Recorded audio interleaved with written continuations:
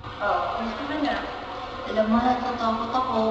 Buti nga nandiyan ka kasi ikaw lang kaibigan ko. Wala kasi sila kaibigan.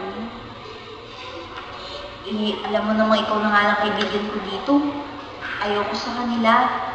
Tingin mo ba dapat ko na silang gantihan? Hindi ko naman kaya yun eh,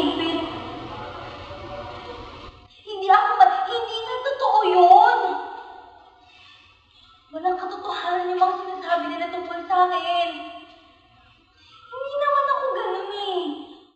Ang schizophrenia ay isang uri ng mental disorder na kung saan ang isang tao ay nakakakita o nakakarinig ng mga bagay na hindi naman naroon. Hindi lang ang taong meron nito ang naapektuhan, pati na rin ang mga taong malapit sa kanya. Huwag baliwalain ang schizophrenia. Agapan habang maaga pa.